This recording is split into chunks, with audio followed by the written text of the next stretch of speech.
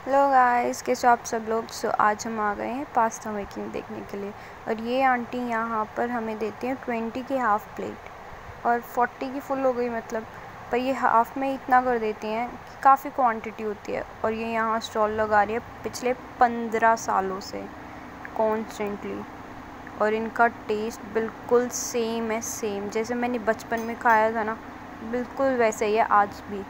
मैं एड्रेस इनका description box में दे दूँगी। सो आप वहाँ से चेक कर लेना। अच्छा बताओ वीडियो कैसी लग रही है? है ना, एकदम मस्त।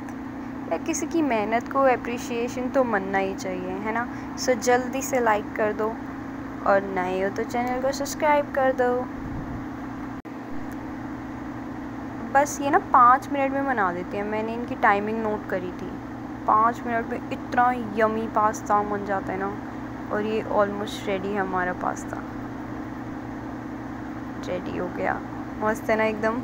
जल्दी जल्दी से कमेंट करके बताओ आपको कैसा लगा। भाई स्ट्रीट फ़ूड तो होता ही मस्त है। मतलब सस्ता, टिकाऊ और एक नंबर का है। स्वाद ऑन द टॉप होता है। और ये इतनी सारी क्रीम देन हमारा डला ऑरिगेनो वाला देसी मसाला एंड इट्स रेडी